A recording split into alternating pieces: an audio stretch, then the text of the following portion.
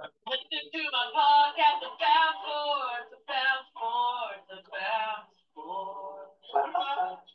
Howdy, Ags. Welcome to the tailgate, the Christmas edition of the Ags tailgate. Welcome. Merry Christmas. La, la, Yeah, la, la. there you go. We'll be singing. Jingle bells, jingle bells, whatever. Yeah, All right. Start singing there a little bit. Also, the signing day edition of the Signing day. podcast. We won't talk much about recruiting though. We're gonna talk about the lack of signing day or Yeah. signing day. Ah, such an exciting day though. All the hope in the world out there, right? Like right now, you got great players coming in. We did. You're, you are excited about the future. There's a new coach, new schemes. I mean, it's just nothing but hope, sunshine, rainbows, maybe some unicorns, right? I mean, it's a beautiful thing. Could be, could be unicorns. We could use some uniforms. Before we get into the depths of this, though, today's episode is brought to you by Matthews Electric. If you blew up your house by using too many Christmas lights, call Matthews Electric. They can help you. Just reach out to Blaine, 979-220-6403. Light up your home, light up your life. Mm-hmm. Excellent, excellent, excellent stuff. Folks, I want to encourage everybody to email us at Ags Tailgate. And I, I'm having a problem with Speaking, speaking yeah, yeah. agstailgate at gmail.com. Find us on the YouTube, subscribe. What do you like to call it? Smash the subscribe oh, button. Smash, you gotta Smash the Yeah, subscribe smash button. You know, it's an awesome thing. Yeah, break it. Let's do a quick little. I I, don't, I want to spend two seconds on this. Aggie basketball. Yes. Aggie basketball. I think they're eight and four overall. They've got one more non-conference game coming up. Tough one? Not a tough. No, not not a tough one. at No, tough, okay. Prairie View A&M, I believe. Oh, yeah, next that's one. be a tough one. Mhm. And uh, they just beat a very tough, very tough Houston team. Houston team, Mhm. not Houston. Uh, Houston Christian University, Right. actually. Not you. Not, not U of H, Yeah. because they lost to them. That actually, hey, that, that They was a played- pretty good game. Played pretty well. Second Knocked half. them, it knocked them out of the top twenty-five That too. Prairie View team, remember that name Prairie View? We got a lot of players transferring into our football program from Prairie View, I think. Yeah, from Prairie View. That's where we like to find our good Yes. football Should be solid, should be solid. Honestly, with this foot, with this basketball team right now, I mean, they're, they're, they're not playing great. I mean, it's just completed consistency from every player on that roster. I think A lot of players yesterday. Hefner went off and had a great game. He's had another one other great game this season. You know, Coleman's been up and down. Taylor, you know, probably had one of his best games against U of H, but he hadn't really been, you know, the guy that we expected to be the full time leader from the beginning of the season.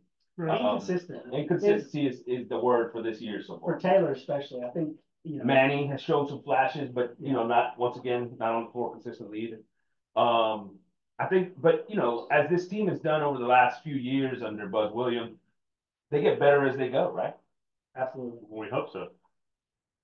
I would expect that to continue this year, right? I expect that Taylor is going to start coming in day in and day out and performing as the SEC Player of the Year that he was nominated as at the beginning of the season. I expect that that's going to step. We're going to get Radford back into the mix. He's been we That's- missed him. huge. You know, huge. not having him against U of H, I think was huge. Marble's not coming back. And Marble, I don't think is coming back. But lots of th- good things to look forward to in the new year for this basketball team, right? As SEC they start play. SEC play. So It's great. good stuff. Hey, we have a tough SEC starting out. I mean, we Yeah. right off the bat, we got like Alabama, Kentucky.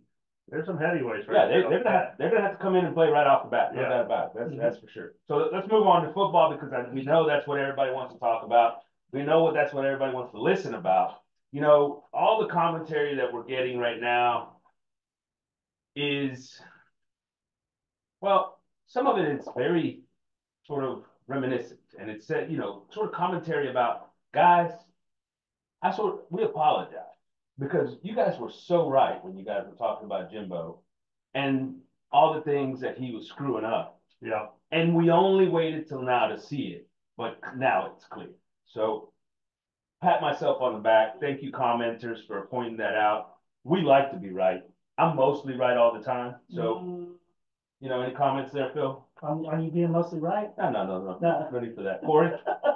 I agree with you. We're Yeah. mostly Yeah. fifty, we're fifty-fifty, mostly right. Uh, did have some good award season stuff at the end of the football season. Most of all, and the guy that, you know, hey, listen, Corey, tell tell everybody about this. I've been I've been putting this guy name out there for two years now.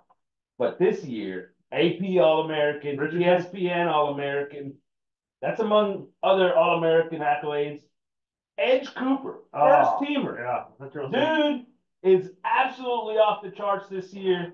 Should have been last year, except his defense coordinator and position coach weren't very good. And the dude is absolutely going to earn probably a first round draft pick. Oh, yeah, You know, Mel Yeah. Kiper's got him as Yeah. number one inside linebacker yeah. coming out. Number, he was like number Number seven or eight overall. Yeah, Wow. That's it's it's impressive, man. I am so happy for that kid. I'm so happy that he's gone and the production that he was able to show. Not only that, I mean, the, it's his athleticism is off the charts. Absolutely off the charts. You know, I think he can do it all on the football field. He's he can he can cover, he can rush. You know, he can get downhill and get to the football. I'm a big believer in Ed Cooper. I think he's going to have a big career in the NFL. Y'all, y'all thoughts? Corey, what starts off? Well, getting downfield, he didn't do that till this year. They didn't let him. Last year, he was basically covering running backs or slot receivers. Yeah. And we knew he could do that. We were excited about that. But we didn't know about the downhill ability. And man, he showed that this year. Tackles for loss, sacks, you name it. He was everywhere. He was a little bit of everything. Yeah, the pressure thing was a new thing for him too, right? Yeah. So- Yeah, yeah, I mean, they used him the way they should have been using, and it showed. Um, on the, on the defense period, but also on his individual performance as well.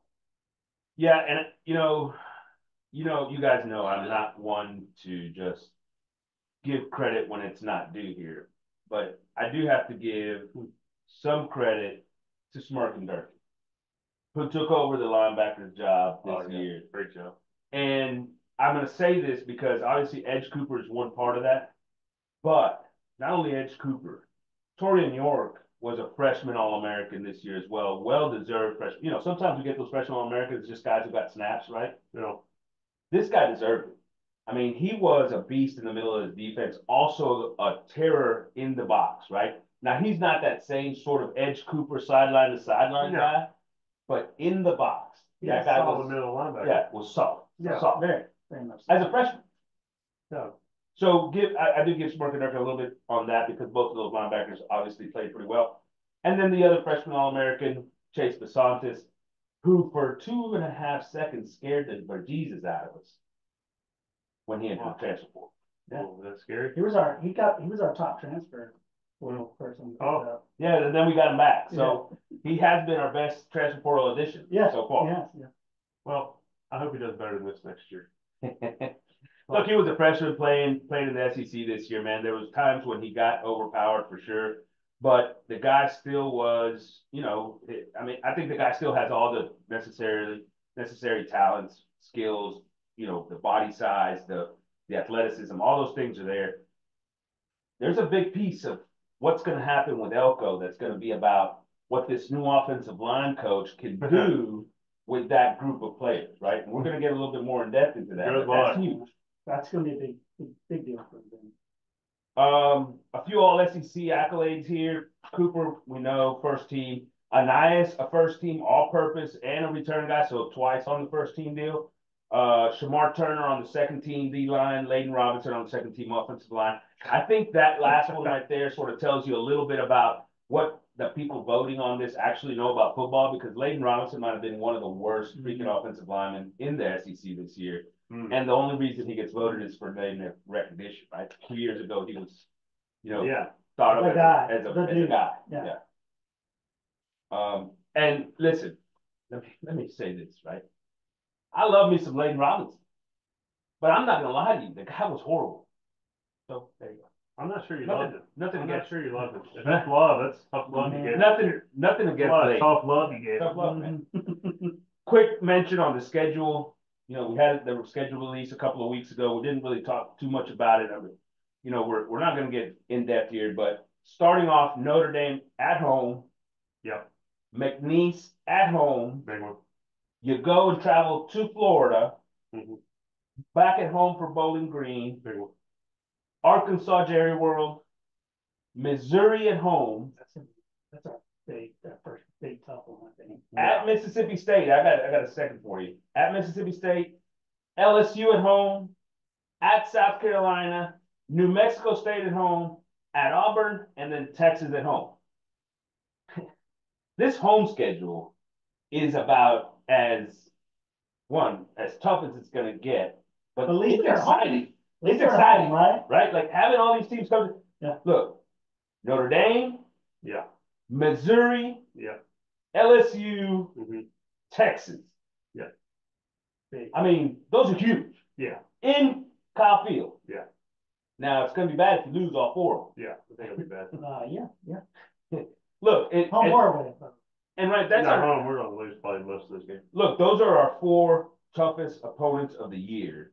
Those are our four toughest opponents of the year. If you're good, having them at home is a good thing, right? Mhm. Have, getting them all four at home is a good thing. Don't you think? Yeah, so what do you think if you go? You go three and one there, two and two, is that a win? What do you, like, what's a win on those home games, like, Well- on your record at those four home games? You better go three and one, I would think so. right? You better go three and one if you want to start competing with the big dogs, right? That's- That's really hard. O- Otherwise, you're gonna get left behind, Yeah. because you're gonna get left behind and, you know, because Texas is in the final four right Yeah. now. And they're gonna be just as good next year, Yeah, they're gonna be, right? if not better. If not better. But if you go two and two there, then your, your away games are fairly winnable, right? You do have a So good then- schedule away. Now, we know that the Aggies have struggled winning a- a- away from Kyle Field. That's true. in the last, you know, I think we're oh, oh and nine in the last three years or something Right. like that. And so that'll be the first thing that we want to see about Elko. Can he go to Florida and go win a game over a team that they should be better than, right? hmm Well, there's another scary team. I team mean, we got there. their uh, awesome, we're uh, playing at home. defensive guy too. There's another scary team we're playing there at home, you didn't say, New Mexico State. Yeah, yeah, we're not, we're not. They beat the crap out of Auburn. They did. Nobody saw it coming, Mhm. beat the crap. You don't think that could happen to A&M next year? No. It happened to us the year before last, App State. Yeah, yeah, right. If I'm that happens, y'all a heads up. let me just tell y'all, if that happens, if that happens, then they should fire Mike Elko right off, the year one. Just year one. Just get rid of him. Bye. Hmm. He loses to New Mexico State, thank you for your year, saying, your year of service. Thank you for your ten weeks of service. You can go now. But hey, this schedule, looking at it, uh, I think at eight and four. If you go eight and four, you're about to drop down to middle of the pack SEC for the rest of your time around here. Well, that's where they're at right now. Because- Seven and five this year. Because here's the thing, once Texas gets here, once Texas gets here, starts playing an SEC schedule and starts winning. And starts winning, then the recruiting battles are gonna go their way. They're already winning. And- They're winning. Yeah, well, but that's my point. point, and they haven't even got to the SEC yet, so No. it's gonna get worse. Right. You see what I'm saying? So, so Elko doesn't have a, like a grace period here. He doesn't have, he can't just say, okay, it's only year one. Don't use the Jimbo Fisher excuse of, for seven years, it's like we're just now getting our players in, right? Right. You know, first of all, he recruited half the freaking team, so he doesn't have that excuse, one. But two, he doesn't have the, he doesn't have the time. He doesn't have the time because of the exact situation he's walking into. hmm yeah. I mean, it can't, it can't be a rebuilding year. That, that narrative cannot, cannot be there. And I, I mean, I don't think Elko's, at least right now, his narrative is not that. Yeah, You it know, it, It it is isn't, not. and so, I um, that's a credit. positive. Yeah, it- he is not talking that. know. Uh, no, something I just found out a little while ago. Notre Dame, this is interesting. Yeah. Notre Dame to open the season. Notre Dame just got done hiring Denbrock, the offensive coordinator from LSU, the guy who coached the best offense in the mm-hmm. entire country this year. They just hired him. They just took him away from LSU. Supposedly the Aggies tried to take him from LSU, couldn't get him, and Notre Dame went and got him. Well, it's good he went and got him, but he's not gonna have Jayden Daniels there throwing the ball. He's not gonna have those two badass receivers catching the ball. You can be a great offensive coordinator, all you can be, but if Yeah. you don't have those guys around you to fit your. You know who their quarterback's gonna be? Yeah, the guy from, uh, Duke. Yeah, Leonard. Mike Elko's old guy. Yeah, Mike Elko's old Which I guy. like Leonard. I- Yeah. I mean, Yeah, not, I don't think he's crazy good. I'd rather have Conner Weigman. but remember when LSU lost both of their, their offensive gurus, what happened the next year? They won a national championship and then stunk. So I mean. No, no, no, no. When LSU lost their two, their offensive guru, then they, they won it with him. They And won a then, and then they, he left and then they went to crap. That's what I'm saying. So an offensive coordinator can make a difference. Oh, yeah. Well, that's what I'm saying, but I mean, he went there, but the offensive coordinator's gotta learn what he has to work with the first season. He doesn't, he's not like Sure. that Jayden Daniels. But let me ask you this. Daniels makes any offensive coordinator look good. Sure, sure. A play breaks down, he can go What's, wherever he what's, wants to. what, did he make the guy in Arizona look good? Or Arizona State? No, he was still. No, good he didn't. What year was he there? I, I understand that. So sometimes it's age, right? Yeah, I mean, But- he's more, But that development from that coordinator who's been with the last two years also was a part of that. right. But you're right, he's a special talent. I'm not gonna take away from that. Not to mention the two receivers he was throwing to, pretty impressive group of young men, That's the whole thing. I mean, right? Arizona State doesn't have the talent LSU has. You put any good quarterback on Arizona State's team, any good quarterback on okay. LSU's team, you have more talent around, you're Okay. gonna look better, you're gonna play better. All I'm saying is I would have been excited to have Denbrock as our offensive coordinator. I hired him as our head coach, to be honest with you, but then, neither here nor there. I He's going to Notre-. He's going to Notre Dame. Yeah, And he's going to Notre Dame, and I don't care what you actually think about Denbrock and this LSU squad. The fact of the matter is, you can't deny that you expect them to be better, right? That offense was mediocre at best this year. Even in spite of that, that offense corner gets hired, I think, is at, at Troy or one of those, you know, I think at Troy to be, to replace the guy that, that left. Mhm. And, you know, that offense with Denbrock will be better than they were last year. Well, it's the head And- coaches, is this, this will be his third year, Yes, so this will be his third year. Yeah. Pretty- which will be a good te- a test for him to see. And I mean, he's done well the first two years, I think, for where, where they were and then coming in. Yeah, I mean, they started off pretty strong this year and then kind of, I mean, they, they didn't finish too strong, did they? What was their Who, final record? Notre Dame? It's not gonna be Yeah, easy, man, that's my point. No, it's not. That's, look, and, and game one, right? I mean, you're talking about a team that's gonna be under new coaching staff and everything's new, right? Mhm. All the processes are new. Or what's a home game look like? New, you know, what, you know, all those things. So, yeah, I think that's, look, that's a, that's a tough way to jump in. Sorry, Mike, but I like it though, I like it having a big, a big, Oh. big game at the beginning. Oh, I, yeah. I really, I like it, I always like that. So let's talk about this team and where things stand, right? We went through the recruiting class. Right now, I think we're at 16. 16 players, freshmen coming in, Yeah, right? Uh, two of them still unsigned. The two best defensive linemen and, and Bussey, the the athlete, and, uh, McKinney, McKinney, the, the defensive lineman, right? Those are the two best guys, five-star type, type players. And so those guys aren't signed until February. There's a lot of stories about they're being chased by big-time programs, right? sure, which is, you know, expected. Right. It's always gonna happen. right. But, you know, let's assume those guys are with us. Let's assume those guys are with us. That's a total of sixteen kids. It's not a huge class, but it's the first class for Mike Elko. It's the first class for Mike Elko, sixteen or eighteen, somewhere around there. and, and, uh, you know, he had to try to keep it together in the midst of this storm, right? In a matter of a week. So Right. let me just get your thoughts. Phil, why don't you start us off here? Tell us a little bit, I mean, what do you think? Well, if I look this a win or a loss for Mike Elko? I don't know what to, what to call it at this point, it's the sheer number is the problem, right? So if you look at the average Yeah. on like the, the talent wise that we brought, their average star rating is right up there with everybody. The problem is, is like, it's not really the, the five star miss, the four star, because we're probably about where everybody else is besides the Mhm. top three recruiting classes. But just the sheer number, like, there's hardly any three stars in that we, that we landed, and I, it's, it's, that's where our ratings put us down, in my opinion. Um, and I don't wanna go too far into the whole defensive coordinator thing. But that, I mean, that killed us not having Leighton. I mean, that's where the recruiting, that's where we got hurt, we got hurt on, I mean, uh, You, Elijah, Elijah, Elijah. sorry. Um, that's where I think we got, that's where we lost in recruiting this year. I think that, that hurt us. And he's overcome it somewhat. Yeah, yeah. I'll give it a C. Hmm. Corey, what do you think? Job so far by Elko on this recruiting program? Man, I'll be honest, recruiting's changed so much over the last few years with this NIL portal, the transfer portal. We might get a great recruiting class. Who's gonna say they're gonna be here next year, the year after? I mean, you develop players and they move on. You don't develop them, they still move on. You don't, you don't know what it means. Yeah. Um, so I, I really don't know. I don't know what to tell you about that. I don't expect much out of freshmen coming in. Uh, well, first year freshman, I mean, how many of them really make a difference? Bisontis played twelve games at right tackle. Got his butt kicked a lot this year. Taurean York was a, was a key component to that He was very good, but I mean, you're talking about a small number. I Yeah, mean, the for the sure. other freshmen that were highly rated, uh, defensive tackle Hicks, did he, he didn't see the field hardly.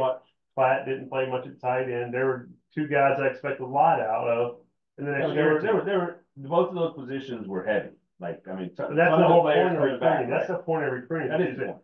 heavy, so that way they can sit out that year, get bigger, stronger, learn the offense, and help recruit, actually. They, those, those guys should be helping recruiting. But overall, I mean, I'm not as excited as I have been with the Jimbo classes. Jimbo, he had a gift. He could get guys in here. Yeah, I mean, he, he, he had knew that to get the gab, right? The Yeah. dude can talk apparently. and he Sure. can talk, he can go into somebody's house and convince them somehow that, look, this is the way to go. And, but here's, here's the thing about that, and the problem with the whole thing is that he gets all this credit for being such a great, great coach because he's a good recruiter. But At the end of the day, he still couldn't win with all the talent in the world, so you can be the best Right. recruiter on the planet, and if you can't coach, it doesn't mean shit. So Right. good, good riddance, right? Exactly. Now, there's coaches that can do more with less. And, you know, hopefully this Mike Elko staff is, is, is doing that. I, I'll tell you this, with regards to this specific recruiting class and, you know, the transition and everything that's gone on here. And look, not on top of that, dealing with the fact that Texas is in where, in the place that they are and everything, you know, and, and everything that comes with that Yeah. To me, I think Elko's done a pretty good job of trying to keep a lot of this class together and the folks that he has kept in house. Look, the three offensive linemen are, are, are, are big additions, right? Uh, You know, being able to get a good group there. Mhm. Um, he's got some good, good defensive linemen as well and a good group there. The, the deficiency, and here's where he's gonna have to work to make it up. The deficiencies at DB, right? Oh, yeah. the defensive backfield, he, he, I don't think there's a single corner in this class. And, and so, and the depth for this team right now at corner is pretty light, right? Mhm. Because Chappell's gone, because Harmon's gone, Right, Mhm. right? right. And so that's the group that he's gonna have to do something from here until the beginning of next season, where he's gonna have to add some guys. And he's added a guy in the portal that's probably one of the better corners out of, out of Kansas State, right? I mean, I he's, I can't remember his name. He's a, he's a legit player, um, and, and so you, you, you look at him, you know, uh, Will Lee, right? Yeah, Lee, that's it. You know, that's gonna be one of those guys, but, you know, you're gonna have to have, I think you're still gonna have to need, have another couple bodies, whether it's from freshmen. Well, we got some. We got a guy from Central Michigan. We got a guy from another, uh, powerhouse. Where was that? at? I know Uh, it's Central Michigan, but he's getting bigger. Yeah, Yeah, he's, a- and he's a safety, but he's a safety. But we're getting bigger guys, is what I'm saying. That's what he wants to get. You saw this year, a lot of our smaller defensive backs got the ball thrown over them by LSU, by bigger targets at Alabama. Those guys had huge games going up against a five eight, five nine defensive back. Now we got six two, six three, six four. We got size. That makes a difference. Yeah, Yeah. it does, it does, but let's be honest, right? I mean, it's not the only thing, Well, I'm not, I'm not, I'm not saying it's the only thing. right? But you give me a good big man. They always say, my dad used to tell me, good big man, or good little man is good, a good big man's better. Yeah. Uh, Yeah, Tell that's- Mi- tell Michael Jordan that. Yes. Michael Jordan was a big man. No, he was. Six six, not big. No. Big men in the NBA is seven foot, right? There, they were a dime a dozen. They're not a dime a dozen now. Back then they weren't. Yeah, listen, here's the other thing that's the, one of the things that's worrisome, we talked about numbers, right? Yeah. For sure, it's gonna be an issue. The question is how you recover over the next year, basically, right? Can you bring in a, s- a much stronger class next year, numbers wise, in Mhm. order to make up for it, right? And then you've got a two-year, sort of a two-year deal, right? Right. Now, but the other thing is, if you look at that, your, the ranking you said right now is sixteen, seventeen, somewhere there? eighteen, um, 15, oh, 18. oh, seventeen, uh, oh, Or, yeah, um, So the class, Transfer? the class rank, the, just the recruiter. just the recruiting, ah, Class seventeen, rank is like six- somewhere in there, depending on who you're looking at, right? Yep. The problem is that there are eight other SEC teams in front of you, Right. Yes. including the top three, by the way, in Georgia, Alabama, Texas. Oh, Three yeah. top ranked classes, all three of them SEC teams. Mm-hmm. Welcome, Yeah, welcome to hell. well, and the fall off after those three is significant, like, I mean, it kind of bunches up there, but those three, tho- I mean, they killed it. Florida had a horrible year and they're ranked ahead of you. Yeah. Hell, Auburn, I think, is right there. Auburn, well, we knew that he was eventually gonna start doing, Yeah. some- you know, he, he, he came in with an, people That know. is what it is. I mean, Jimbo could have a crappy year and still be a top ten recruiter. Sure. That's just what it is. I mean, Mhm. it's about how you coach them up. I mean, look at You Ole Miss. Coach. Ole Miss has gone, what, ten and two the last couple of years? and They have They haven't got great recruits. They get all the transfer Yeah, portal but guys. he- They get guys that. He's figured out the transfer portal like no other, nobody the else secret has. People has to. That's what So- you have to do. So let me just, and let me say this, right? I, I, you know, I went and listened to Mike Elko after the class on Wednesday, right? And he Mhm. came in and he had some comments. And you told me something the other day, like, look, it doesn't really matter what he says. Just listen to him for five minutes and it's like just a blessing at the fact that you're not listening to Jimbo. Oh, hundred percent. I can hear. I can believe that. Like, the, it doesn't matter what he says. He already sounds more intelligent. He Yeah. sounds more, you know, willing to do things and adapt and coach and than Jimbo ever has, right? Right. And so, And he does it in a whole lot less words. and well, Talk a little bit slower. yeah, thank goodness. Uh, so, you know, that's always a, that, that's already a positive, but I will say this, and I talked, and I told you, Corey, the other day, look, I had one, I had one problem with what he said in that interview. I had one problem, and that is sort of this message like, hey, we're going after quality, not quantity. Don't lie to me. Don't lie to me. You're stuck with the qua- quantity. You did get quality. You're Yeah. stuck with the quantity. If you could get more, you'd take them. Exactly. You know what I mean? You Yeah. would think. Yeah. You know? So don't try to I mean, just leave sugarcoat the. Scholarships just hanging out there, I mean. Yeah, and you know what, you ain't gotta tell us that because, you know, most, eh, not- maybe not most, some of us are smart enough to understand, right? But at the end of the day, I mean, nothing else he said was really, uh, you know, he talked about the defense, the, the hires and why it's waiting. And he did kind of go towards, you know, try to make it sound like, well, these guys are coaching right now or whatever, you know, here in a minute, we're gonna be, well, Here we get. mhm. so we're gonna talk about the defensive staff hire. I was Uh, so excited when he said that, by the way. What? I was like, oh man. Oh, we're know. to do something We're gonna know. Yeah. We're about to know. Yeah. But before I go there, because I wanna do the whole staff talk together, let's talk about transfer portal. You, you talked, you, you mentioned it some there, okay? So let's talk a little bit about transfer portal. Let me read off some names of the guys that have, that are leaving. Tight end Garza, you remember him? No, Oh, yeah. Nobody knows him. He didn't play much. Nobody, nobody. Kent Robinson, he's been the MVP of the maroon and white game, I think, the last two years. Good. He's doing great. Defensive MVP or something. Deuce Harmon, Big one. I think that's a big one, because I think it is I thought, I thought this defense got a lot better when he started Mhm. at the end of the year. Uh, Chappell, the other cornerback, to me is, Big one. has been our best, our best defensive back the last couple of years, right? That's a three-year starter at the corner spot. Very consistent at that spot. Yeah. You know, So that's a loss, especially with the numbers, right? Fadil Diggs, who now, and we know he's going to Syracuse. He's gonna go play for Elijah at Syracuse. Mhm. His brother has committed to Syracuse as a freshman, so, you know, he's got a lot of things Didn't you going. say nobody would go And- here? And he's from that area up there, so, Nobody wants to go Syracuse. well, I was right, except for Fadil. Diggs. And his brother. That means I was right about fifteen players and wrong about one. Mostly correct. Oh, okay. You much- See, Mostly correct, That okay. makes I, sense. I'll, I'll. we I'll talked go about Chase Bisontis. Look. Big pickup there. big, big pickup by Mike Elko. Way, way to go. Uh, end Jake Johnson. Yeah, I just I- I about mean- subtracted. I thought he was good, but Well, we got Green coming back. You got Platt, who's a year older. You got, there's, you got the kid from Purdue, who I don't see him and Jake probably being that much different. Maybe the guy can get in front of somebody. look, Jake Johnson did not block a soul all season long this No. year, right? So No. it, I'm sorry to see him go. Sure, man, the guy's a talented kid. He's, he's a good kid. He, he's a, he, he was a good Aggie while he was here. Are Sounds we gonna, nice. we're not gonna miss him. With Green, Platt, the Swede, Opio, The guy uh, Purdue. the Purdue guy, I mean, Yeah. these, We're- we're these gonna be guys fine. are, we're gonna be fine at tight end. Yeah, Okay, Hundred percent. we're gonna be fine at tight end. He's gonna go join his brother at North Carolina, though. that's good. That's good. That's good. Well, hey, brother, brother connection, it, it's a thing, and it's just, Hey, that's one of the best coaches in the nation. And look, this is the last time they're gonna be able to play together because Max Johnson's not going to the NFL, so that's the last time. Jake. Uh, Overton, we talked about him and his brother both gone. Apparently, he's going to Alabama. Yeah, looks like he's going to Alabama. That's a, Is his brother going there too? I don't know yet, but I imagine it probably is a package deal, but Mhm. you know, he came in with a lot of, lot of hype. Right. Like the dude reclassified a year earlier, still five star. You know, everybody thought this guy was about to.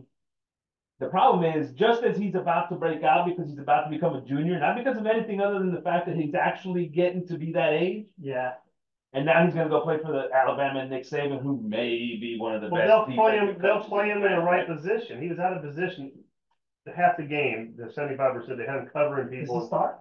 the secondary. He is in the major rotation, for sure. He had Mhm. been, he had been in the major, but you're right, I mean, No, I'm the- saying, does a start for Alabama? Oh yeah, because they're losing both of their outside linebackers. I don't know if he starts or not, but he'll be in the rotation or two. Yeah, he, they're losing both of their outside line, starting outside, Wait, are you counting him as a linebacker? outside linebacker. For Alabama, but for Alabama, because Alabama plays a two, three, four, Okay, where they're bringing those outside guys. okay, gotcha. Um, Did we, did we talk about Nolen no, we're, we're gonna, Okay, I, I wanna say one more thing about Overton, I wanna say one more thing about Overton. And that's that, I don't blame him either, because the whole smirking, dirking, having him covering people all the time and whatever, that, that was not what he exceeded at, right? That was not what's gonna get him to the lead. Yeah. That is not gonna be that thing, so I appre- I understand where, why he, why he's moving on. A guy that's probably going under the radar, Gilbert Mm-hmm. safety, committed to LSU, man. So you know LSU and DBs, Right. you know? So this dude, this dude to me was a player. Now, you know, he got hurt for, then Matthews started getting a lot more playing time, and I thought Matthews Played well. played very well, so you can't, you can't really say it. But this dude was a, was a good player for this Aggie team, Right. and I think he's a great addition over there at LSU. I think he's gonna be missed. Hundred percent. Um, Walter Nolen. And, and let's go Walter Nolen, and we're also gonna talk clearly about Evan Stewart.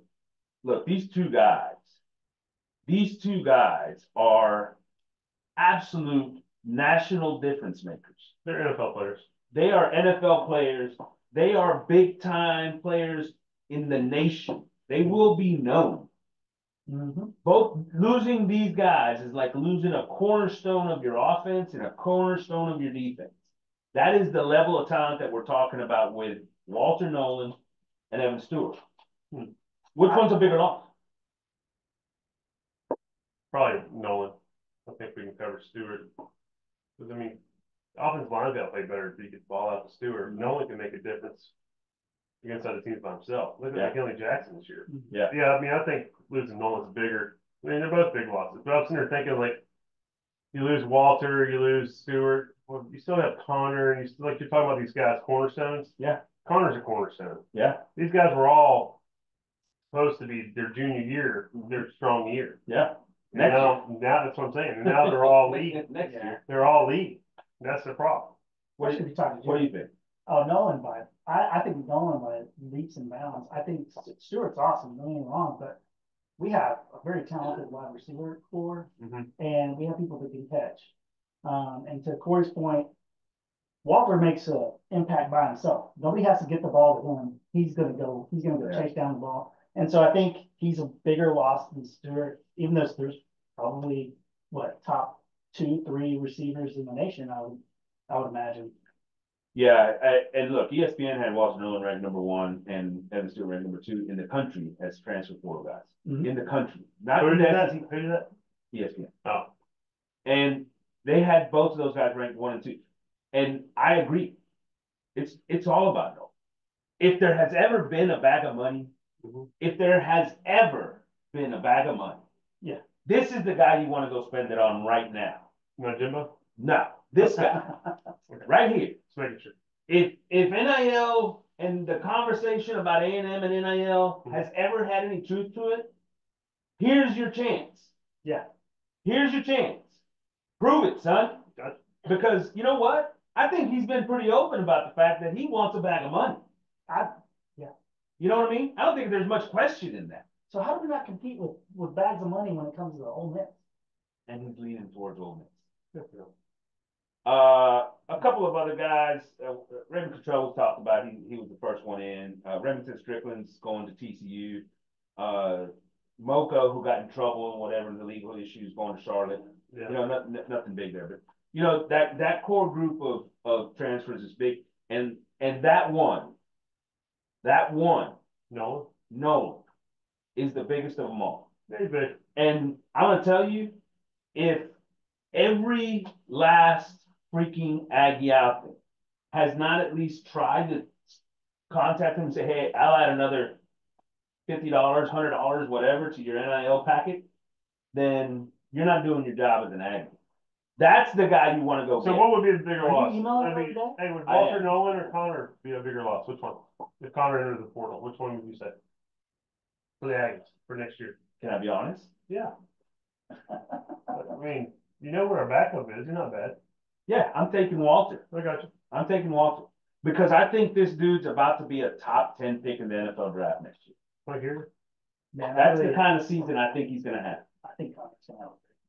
I, too. he, I, I imagine he will. I imagine he will. But you know what? We're seeing what our backup can do when Conner's not in there. Yeah, he's, he's good. He's not bad. Not bad. He's pretty good. I, I, I'll give him rather more have Conner. that. I'd rather have Conner. I'm gonna tell you what, I'm gonna be excited to go see, go see the freshman. Freshman for this year. I hope he gets some playing time in the bowl. What's his name? Oh, man. Okay. we'll talk about it. Uh, but not, no. No, no, don't worry about Not Reese. Um, so. Reese? So. So. All this, we, you know, we've basically talked about the- everybody that's leaving, who's coming in? And here's my biggest problem with sort of what Elko has so far done. Is you look at that list of players that's exiting and they're all big time athletes, four star, five star guys, guys that have done it on the field, a lot of those guys, and have proven their worth. And here's the list of guys that are coming in. Wide receiver, Javon Harvey from Old Dominion. Old Dominion. Old Dominion. Love it. Wide receiver, Cyrus Allen from La Tech. Ooh, ooh, ooh, ooh. Cornerback, Will Lee. 75. No.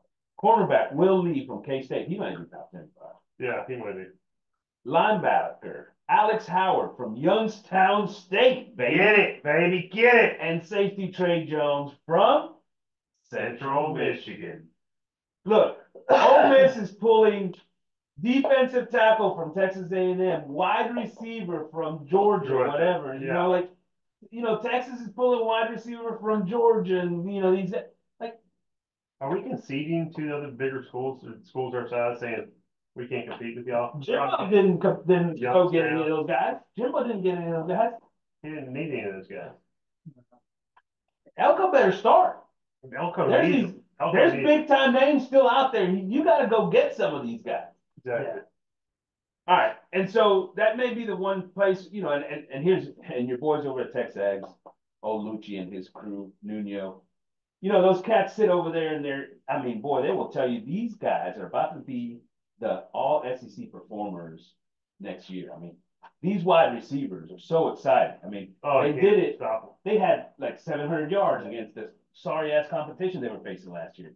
It's amazing, right? Like. Amazing. Yeah, I mean, I hope, I hope that they're right. Yeah. But the, but the, all the rankings and ratings on that, which I'm not saying it means everything, but there's something to it, and we're not getting those people, right? So maybe they're right, but I don't see what data they're looking at that tells, tells us that those guys are gonna be. well, we heard the same stories last difference year, right? makers, Did right? No, I hear Rakes is gone. Rex is gone. Yeah. Okay. Rex, and, uh, Rex is another addition, just He's a yesterday, graduate. Yeah. Transfer. He, he's, he's transferring as well. Alright. That's a good point. There's That just came, that came more in depth. yesterday. Yeah, It's that's more another, depth. depth inside, right, and Yeah. experience, the dude's Yeah. played a ton for us Well- last year. We're eyeballing the preview and we're good, guys. Oh, So- So, look, and, and don't get me wrong, look, there's gonna have to be some players, you know, last year, remember, they, they got Grimes, man, and there, boy, they were selling him, he's gonna be, Never saw the field. like, that dude never saw the field. Never. You You know, this year. They, they, they sold you the berry, right? And Love hey, it. listen, Love the Barry. Love Love me it. some Love it. But- Don't Don't you say a bad word about him. But he's undersized. He's an undersized corner in the SEC. Right. That's Right. what I'm saying. He got beat Yeah. over and over and over And- and over and over and over and over and over and over again. One more. Oh, Yeah, okay, there you go. So, you know, we've heard this story, right? The linebacker from Jacksonville State or whatever, that dude didn't touch the freaking field, right? These guys coming up a level, that guy too. yeah, these guys coming up a level, Whoa. okay, okay, up two levels. Whoa. These guys coming up Up two levels, level. You're talking about a team that They- goes. you know, and they were, you know, they were good players Oh, at the, yeah. at How can you say they came up to a level where we were five and seven? Uh, five and seven. Competition. Competition level, Corey. We are, we level. are what our record says we are. Yes, but we're playing against teams that are in the playoffs right now. The play, the teams that you're playing against, the players you're playing against, it came up. They came up Where? because Yeah, Texas next year? playing in the SEC is more challenging than playing at Youngstown State. I tend to agree. Ah. So anyway, the point being is, the point being is that we've lost a lot of time in the portal and we've added some depth. Right? That's Yeah. where, that's basically where we're at. I mean, any of those guys starting next year that you No, see? not on one? No. not, not one of those guys. Any freshmen, any transfers? No, neither one, right? No starters. I, The only one is, uh, Bisontis. I mean, You know what, all this is missing is just, there's no splash, man. there's no splash. There's no splash. I've got a theory, man. There's I've got a maybe the offensive. I I what don't I'm like. I've got a theory. I've got a very, and this, look, prove me wrong. Oh, easy. Prove, no, no, no. I'm asking the people out there, Oh. prove Oh, me I wrong. you wanted me or Bill to, like, that's easy. You guys don't stand a much. chance. Doesn't Don't take much, doesn't take much. Yeah. I'm asking the folks at Aggie Land, the supporters of this program, the Mhm. guys who supposedly have filled this NIL bag, prove me wrong. What? But here's my, this is my theory of what's going on right now. Oh, Oh, God. that So was- You've got, you've got an administration that's trying to let, to show people, hey, this is Aggie Land, we're here to win, we're creating champions. But in reality, in the conversations in the back room, you know what they've said? This is what I hear them saying. We're not gonna put any more money into NIL football. We are tapped out. We are tapped out. We just paid Jimbo seventy-five million dollars to go sit at home. He ain't even doing a podcast, man. Jimbo's just sitting at the house with seventy-five million dollars. We spent all this money on the new stadium, the new facilities, and new everything. We've, we've given to these players for this recruiting class, and you know what we got? We got five and seven and seven and five. Y'all- y'all- y'all- listen. I'm not done yet. They're gonna keep And they saying, and they said, you know what? Y'all go hire Elko. And y'all make sure that you keep the budget low on the coaching staff. And y'all tell these players that they're just gonna have to suck it up. Because NIL money is, ti- is a little tight at the moment. And that is what I think is happening in the background. And Aggies proved me wrong. You wanna prove me wrong? Go get Walter Nolen. here's, the- here's what I see. I see, uh, these guys that put all the money in, they're pot committed. All their money's already in there. They're gonna throw more money at it. Just because they're, they're already there, they gotta throw more to try No, to They're gonna throw more money No, because no. Texas and Oklahoma Yes. are in the conference now. Yeah, And they know that they can legally give money to the school like they did, and that money can go towards the players. Yeah. They're gonna give more money. They're gonna, they're gonna sit there and make this bigger and better. They're gonna give Elko every chance to succeed, Prove me wrong. and it's up to Elko to do it. Prove me And wrong. right now, I'll be honest with you, proving you wrong. No, I'll they haven't, tell you, right now, Elko is They made haven't one or two good hires and a couple questionable hires. They I'll haven't done honest today. So let's talk about it. Let's talk about the coaching staff, because I think Good. this is something that we all want to get into. you. I did. And look, this, so far, we know, and he talked about it in his presser. You know, he had to go hire an offense coordinator, because that's gonna be the identity of the offense. He needed that person there to recruit, to do the things that he needs to do to keep the players here, right? Right, right, right. And he goes out and gets Collin Klein from Right. Kansas State. Right. And, you know, I think most people are kind of, are, are pretty good with Collin Klein. They like to hire, right? Right. Most people like to hire. Yeah, I do. I don't know that anybody is like through the moon on this thing. I don't think that anybody's like so excited. They're just absolutely like, this is it. Oh, was- I am all in on this freaking program. I'm gonna, I'm gonna sell my house so that I can buy stock in this program. Right? I don't know that anybody's doing it, but I think more people generally like them, right? Yeah. Yes, hundred percent. I like him. I mean, I've met him. He's a really nice guy. Yeah. So when you met him, did you ask him, hey, Collin, I'm just curious, while we're talking here, just me and you bullshit, it's not gonna go on the air at all. Right. While we're talking here, are you gonna adjust your system to Conner Weg, Conner Weigman and his throwing ability? Or are you gonna force him in, in like a square peg in a round hole into your system where the running quarterback is the bigger thing? No, it's all about adjusting to the system, Conner. You know, Conner will be fine. He's gonna make adjustments. Uh, Calvin Klein, whatever his name is. Collin- Collin Collin Klein? Calvin Klein. Who's that? That's underwear? Yeah, it's my underwear. No, Klein will make adjustments to make sure that Conner's, he's not gonna do the running the ball a lot. He will run the ball some. It's not gonna be a lot. Look, I, you, you can You can hear it in every episode I've ever done around it, right? I mean, the offense is the background of everything I do, right? And that former offensive coordinator, so on and so forth, offensive line guy. I love, if you go watch Kansas State the last couple of years, I love the formations, the misdirections, the movements, the different things that he does there. Right. He's not gonna do Jimbo and just sit back and let me see if I can one-on-one match up you, right? He will do some things there that are going to help you offensively to slow down a defense that is just absolutely blistering off the ball, right? He's gonna do those things. He's innovative. Are you talking about like putting the swinging gate in there, something like that? We, we saw that play today and Pretty cool. bowl, bowl games are Love the it. best way to go Love find it. plays. Oh, right? yeah. 100%. Go, go watch some bowl games because if you want a, a new innovative offense, just go, whoo, they will, they, they're gonna run And everything. they- center snapped it over to the wide receiver that was Yeah. ten yards over here and the guy ran it in for a two point Which one was that? conversion. Was that Arkansas State? Uh, It could have been, could have been, it could have been it could have been, no, I thought it was, I thought it was the Salukis. Oh. Northern Illinois, playing. Oh, yeah, yeah. Okay, yeah. So, um, so I like, I like that, but the one thing that does concern me with Klein is when he played at Kansas State, that was their mentality. Tough, hard-nosed quarterback play based off the running game, yada, yada, yada. When he coached there, tough quarterback play, running game, blah, blah, blah, right? I understand that, and it's a good quality to have, mind you. All those things are good things. Right.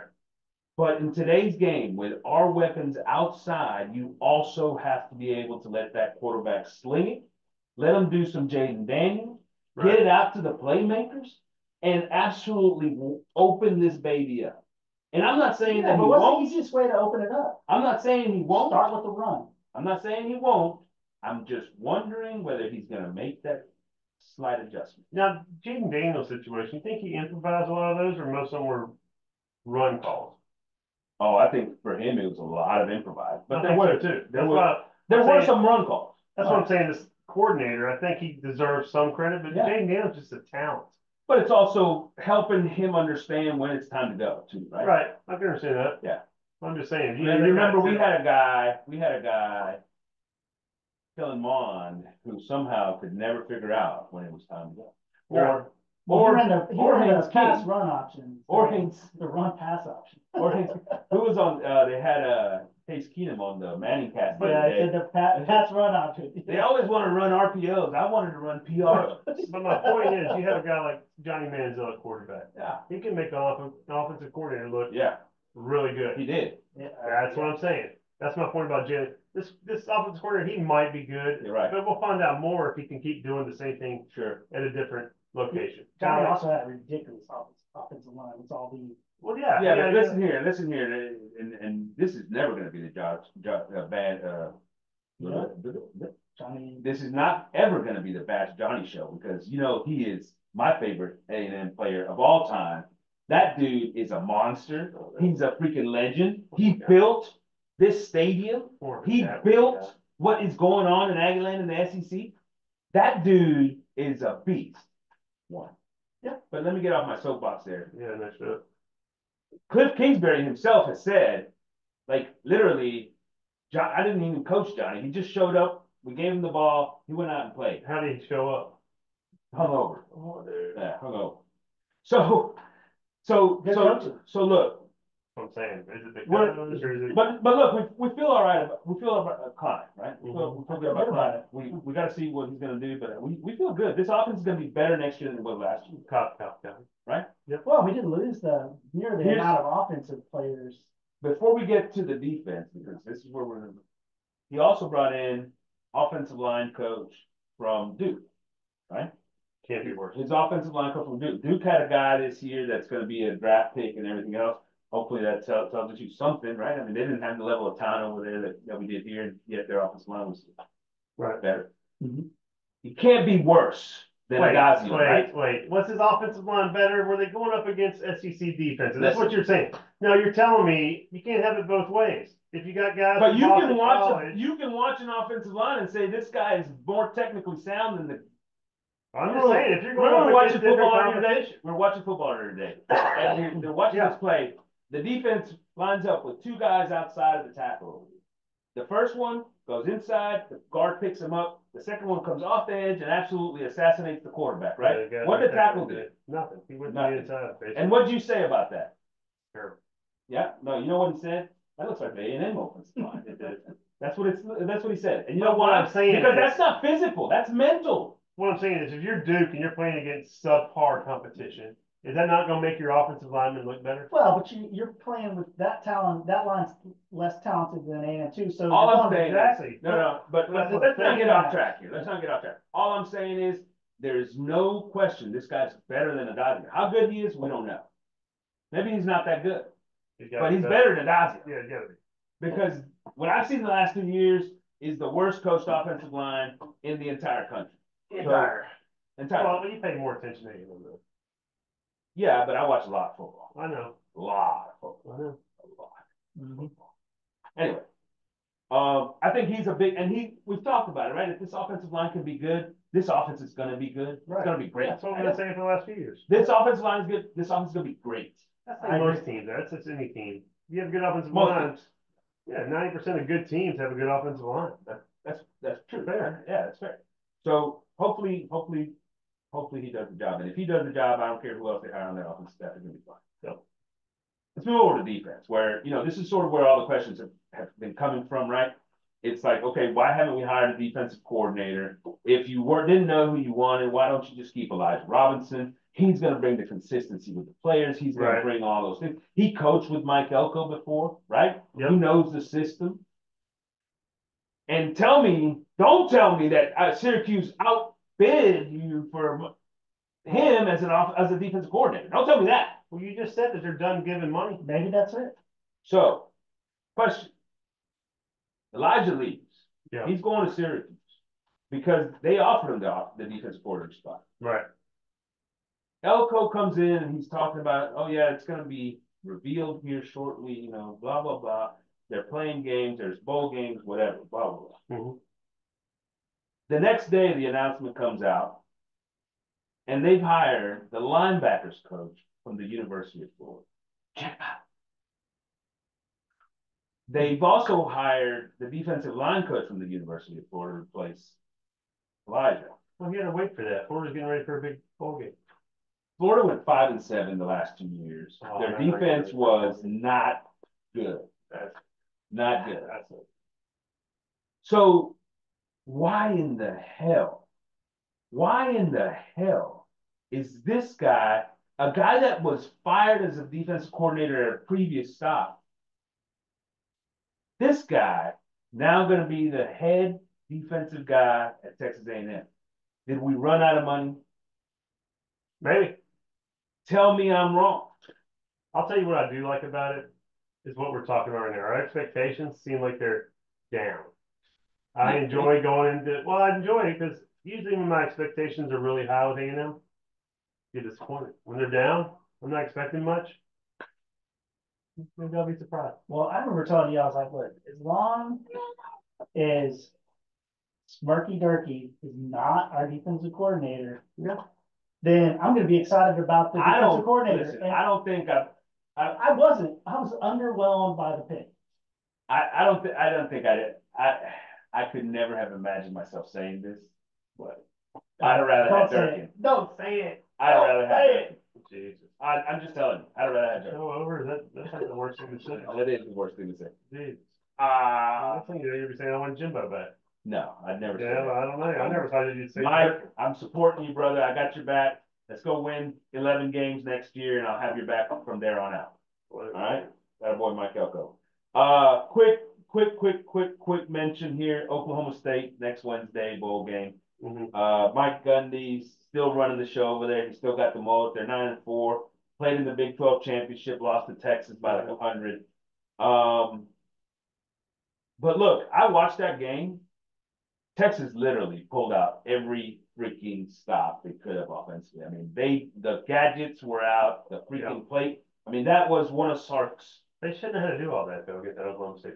But I think that they were They're trying to make a showing- statement. There's, and, and they were trying to make a statement to get in. Yeah. And they were gonna show it, and they were gonna make sure everybody knew, here we come, Mhm. right? I, I don't know. what that means for this game with our skeleton crew, coaching staff and whatever. What I do know is Oklahoma State's got one player on offense that I'm afraid of. Bowman, quarterback? No, not Bowman, the quarterback. Love you, Bowman. I know, grapevine guy. Uh, But no, Ollie freaking Gordon. Yeah, that guy's good. That dude will absolutely kill us on the ground if we let him, right? He is a he is a ball player. Do they have a good offensive line at Oklahoma State? They've done pretty good. There you go. Um, so that's the guy. That's the only guy I really worry about. And and then you said you said that there's a chance he doesn't play. Yeah, that's what I'm here. There's a chance. There's a chance he doesn't If he's coming back next year, that's Oklahoma State. If he doesn't play, it, honestly, we should win this game even with our stuff. I don't, I really don't think we're I'm going just, to. I'm just telling you that. Bowman, thirteen touchdowns, twelve interceptions, that's the kind of guy he is, he's gonna do. it. So don't put pressure on him. You think, you think of the offense, huh? Right? Do that hand high.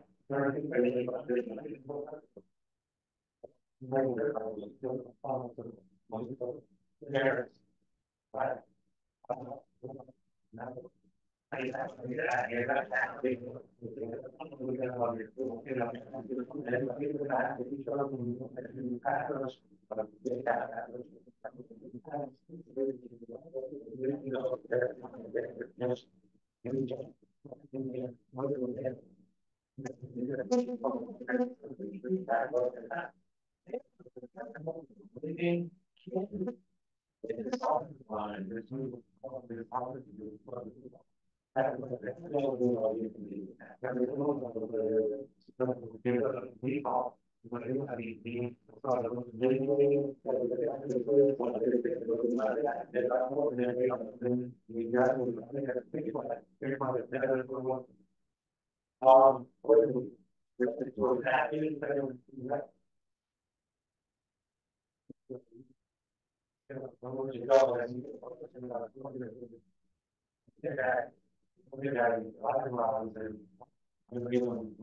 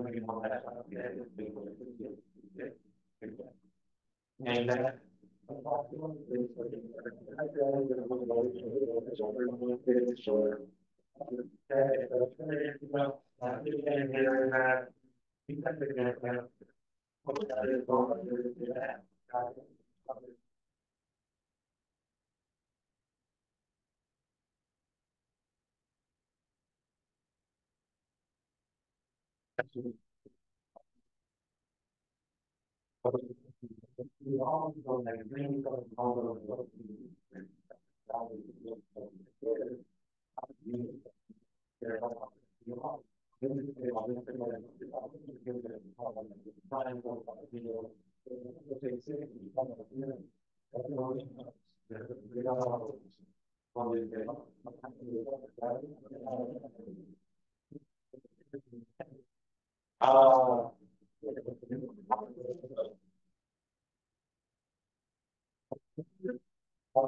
the fire that we made for the. The remaining work that we have to do the name of the ceremony. The things of last when this is our prayer, we the people in the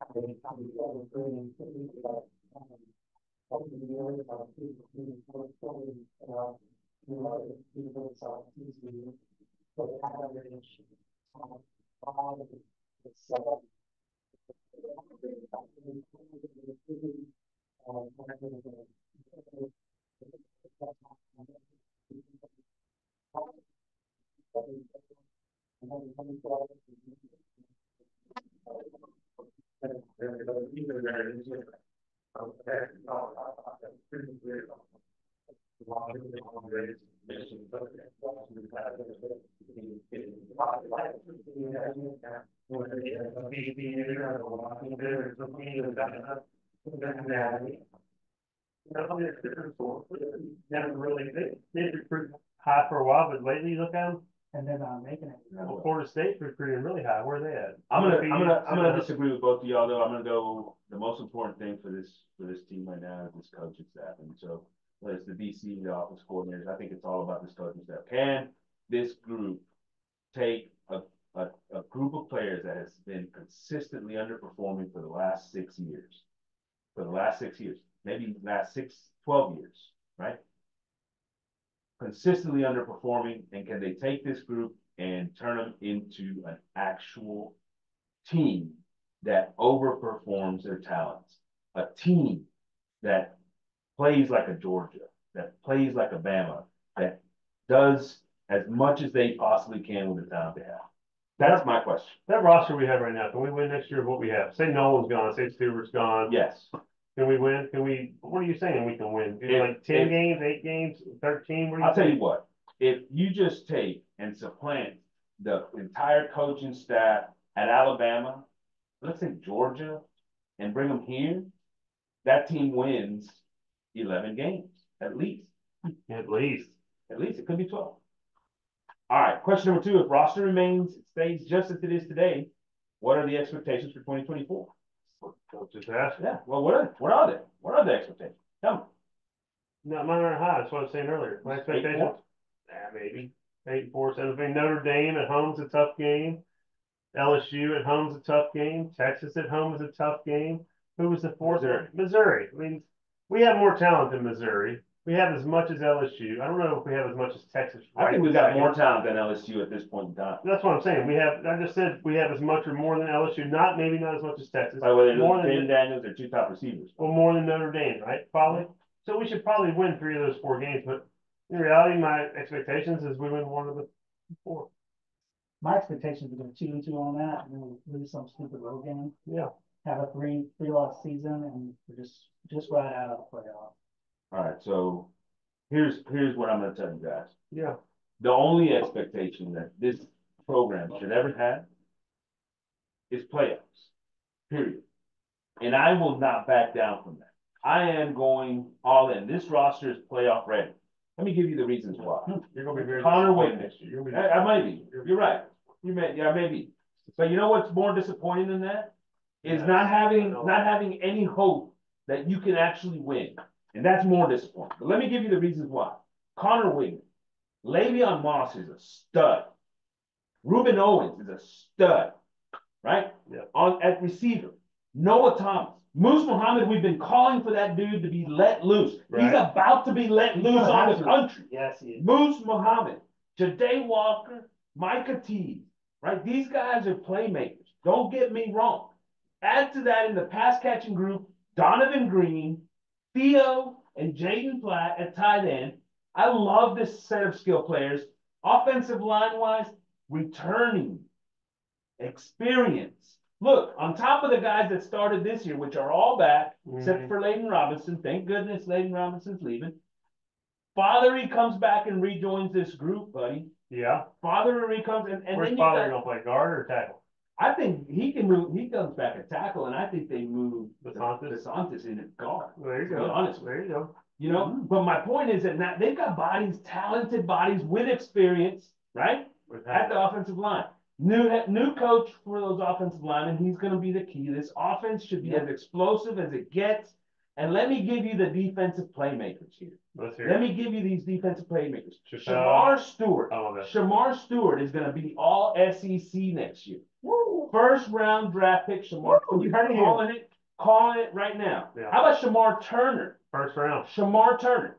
That's- That guy's gonna be all SEC. He Yeah. was all SEC this year, by the way. Love- Second team all SEC this year. Love it, love. Shemar Turner, all SEC. Enai White and and Malick Sylla coming All off the edge. Those two guys are gonna start to show in their third year some of the reasons that they were big time. We've always been high, so Yeah, and by the way, when they let him loose, when they didn't have him in coverage this year, guy made some plays.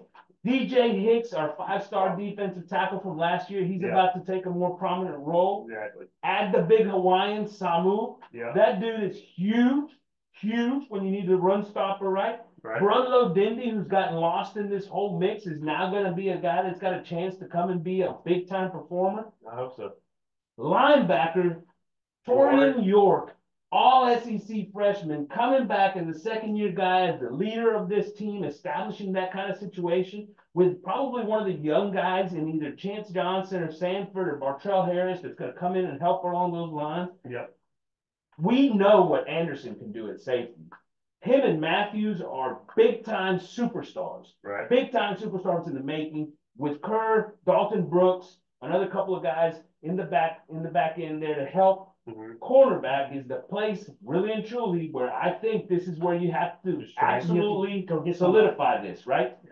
Because we're talking about Lee coming in from Kansas State. But you're talking about guys like Thomas as a freshman, got some playing time out there, looked good for a freshman, right? But he's gotta Mhm. take that next step, and he's probably gonna be in the mix as one of the starters, got right? some older guys out there. too. Braven, Braven, uh, yeah, Braven Rogers, the Barry, you know, they're still back, McCall, McCall. still back, right? Yeah. If We don't know- out there a We don't know what Grimes, we don't know, we don't know what Grimes is the deal with Grimes is either, Yeah, right? sure. But, so there, there's bodies there, and that's sort of the weak spot, but the rest of that roster is loaded with top end talent, man. Loaded with top end talent. Now, the thing is, the top end talent, where's the depth at? Where's the depth? Because injuries have hurt us the last few years. And that's where I come back and we'll close on this because it's the guy that you've been harping about, man. You've been harping about this dude and it's the hire of the strength, new strength and conditioning Yeah. coach, Moffett, right? That guy has an ability to shape this team and build, you know, what is the core, core, core of this team. So that now we can't, we don't have the same excuse we do every year. Why is everybody hurt, right? Me nuts. Ags, let me tell you this, man. I am up here, up here with where we're going. I'm up here with where we're going. But here's the thing, I'm right here. here's the thing. I'm You don't have, you don't have any right leeway, baby. I'm ready to go up here. I'm right here. There's here. no leeway I'm right here. because one bad season could tank this thing. Texas, it all of our recruits. Last year was this season, the year before that was this kind of season. What kind of seasons? Hey, look, either way, Giga Maggies, Merry Christmas, Merry Christmas! Happy New Year.